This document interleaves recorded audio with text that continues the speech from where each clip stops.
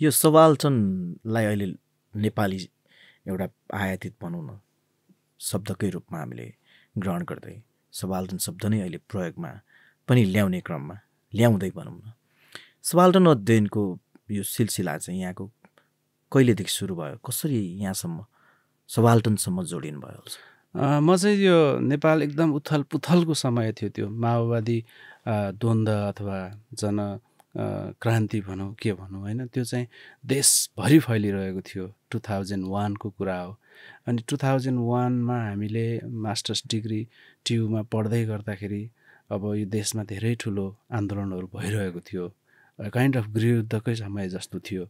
अनि जब masters degree सकेर हेटौँडा फर्किएँ म टु थाउजन्ड टूमा त्यसपछि त्यहाँ एउटा पढाइरहँदा म चेपाङ कम्युनिटीमा काम गर्न पुगेँ।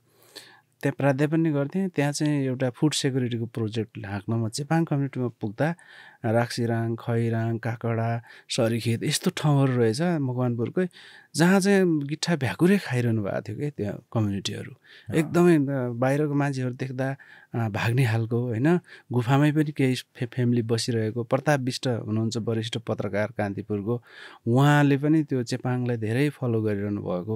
अनि म त्यो ठाउँमा पुग्दाखेरि मैले चाहिँ के सोचेँ भने त्यहाँ ओरल ट्रेडिसन मजाले बाँचेको देखेँ कि? बत्ती थिएन स्कुल राम्रो थिएन होइन?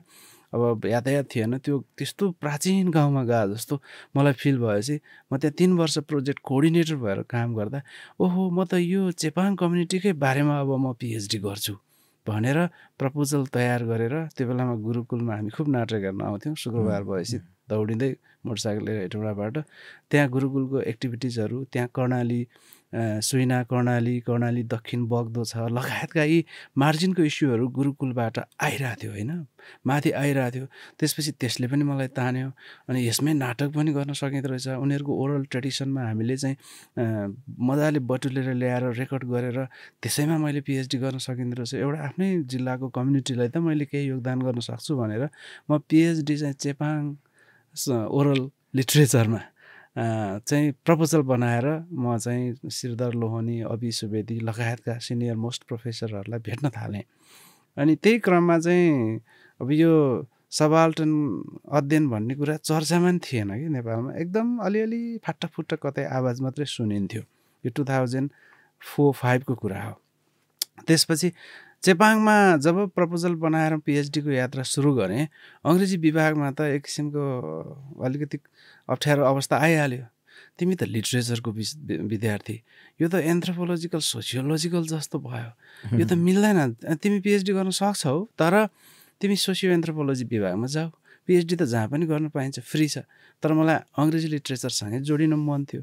त्यसपछि अभि सुवेदीसँग मेरो चरणबद्ध गफ हुँदै जाँदाखेरि अनि उहाँले भन्नुभयो कि यो इस्यु कता कता सबाल्टनसँग जोडिन्छ। म पनि यसमा भर्खर भर्खर आज म पनि अध्ययन गर्दैछु। तिमी पनि अध्ययन गर। हामी मिलेरै अध्ययन गर्दैछौँ। र कतै त्यसलाई ट्विस्ट गरेर सबाल्टनपट्टि जान र हाल्न सकिन्छ कि भनेर म सबाल्टन अध्ययनको यात्रा मेरो सुरु भयो। अर्थात् विश्वविद्यालयमा पाठ्यक्रममा आए तापनि नआए तापनि यसले चाहिँ स्पेसिफ पायो। त्यो स्पेक्ट्रमबाट बाहिर चाहिँ समाजमा यो चाहिँ कहिले आइपुग्यो त्यो सबाल्टन स्टडिजको बारेमा समाजसम्म यो कहिले जोइन भयो? यो पनि महत्त्वपूर्णै कुरा हो जस्तो मलाई लाग्छ होइन? म चाहिँ थारू समुदायको रिसर्च गर्छु भनेर टिकापुर घटना हुने बित्तिकै मा उता सुदूरपश्चिमको सबै थारू बस्तीमा म फेरि आफ्नै फन्डिङबाट काम गर्न मन लाग्छ स्वतन्त्रता हुन्छ होइन? सुटुक्क गयो फुर्सद भएपछि। आफ्नै खर्चमा जान्छु म। करिब म दुई तिन वर्ष पटक पटक ठाउँ ठाउँ घुमेँ। अनकन्तार थारू समुदायभित्र पनि यो सबाल्टन किताबहरू किनेर राखेर देखेँ कि। अनि अन्डरलाइन गरेर यो म मेरो छोरीलाई पढाउनु पर्छ। हाम्रो सबभन्दा ओरिजिनल कुरो ओरल हिस्ट्रीमा पाउँछ भनेर लेखेको कुरालाई छोरीहरूलाई पढाइरहेको भेटेँ।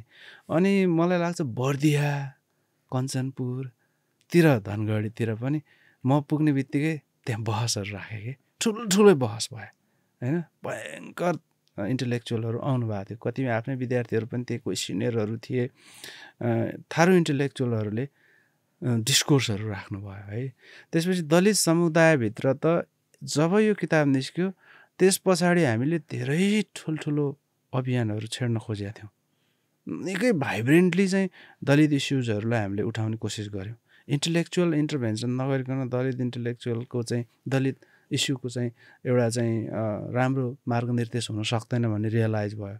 त्यसैको क्रममा हामीले किताब पनि निकाल्यौँ एउटा बल्झिरहने अतीत भन्ने पदम सुन्दास अनि ओम गुरुङ सरहरू डक्टर बाबुराम भट्टराई लगायतका अविसरहरू हामीले ठुलो समारोहहरू गरेर यो कार्यक्रममा चाहिँ विमोचन गरेका थियौँ त्यो किताब बानेश्वरमा अल्फाबेटा हलमा त्यसपछि प्रज्ञा प्रतिष्ठानमा हामीले ठुल्ठुलो बसहरू छेडेको थियौँ।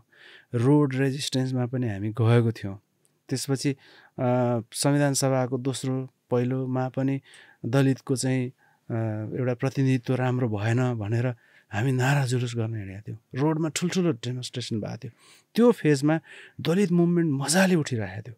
दलित मुभमेन्टलाई चाहिँ एनजिओकरणले ध्वस्त पार्न लायो भन्ने कुरामा पनि आवाजहरू उठ्न थालेको थियो। दलित समुदायभित्रै पनि नातावादहरू कस्तो छ यसबाट कसरी बस्ने भन्ने इस्युहरू उठेको थियो। दलित र जनजाति बिचमा किन सहकार्य भइरहेको छैन? यो त ब्लन्डर हो भन्ने बहसहरू पनि उठेका थिए। व्यापक खालका चाहिँ डिस्कोर्स चलेको थियो। त्यो चाहिँ अहिले दोस्रो संविधान सभापछि घट्दै घट्दै गइरहेछ। यो विडम्बना हो है? जेन्डर स्टडिजको पर्सपेक्टिभबाट पनि हामीले बहसहरू छेडेका थियौँ।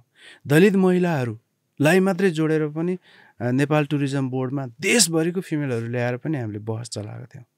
द यो दलित अर्गनाइजेसनहरू पहिला एउटा थियो अहिले अर्को पनि जन्मेको छ। दुईवटा अर्गनाइजेसनहरूको बिचमा प्रतिस्पर्धा जस्तो भएर पनि कार्यक्रमहरू मजाले भइरहेको थियो। त्यो कुराहरू अहिले कम भएको छ। जनजाति मुभमेन्ट त्यस्तै गरी उर्लिरहेको थियो त्यो बेलामा। मधेस मुभमेन्टको त कुरै छोडौँ होइन? यो अनि त्यति हुँदै हुँदै जाँदाखेरि भुटनेस शरणार्थीभित्र पनि यो कन्सियसनेसको बहस भएको थियो। अन्तर्राष्ट्रिय अनुष्ठानैमा पनि मलाई स्पेस दिएको थियो कि। भुटनेस शरणार्थीको तपाईँको खुदनाबारीमा त्यो उठ्दै गर्न लगिरहेको बेलामा पनि हामी पुगेका थियौँ। त्यहाँ कार्यक्रमहरू भएको थियो। शरणार्थी क्याम्पभित्र छ्याप छ्याप त्यो किताब थियो। यो हिसाबले प्रभाव पारेको थियो। प्रभाव अहिले पनि छ तर जुन त्यो भाइब्रेसन छ अहिले कम भएको छ र विश्वको थुप्रै देशमा पनि यो किताबहरू पुगेर चर्चा भएको छ र केही ठाउँमा मैले बहस पनि गरेको छु।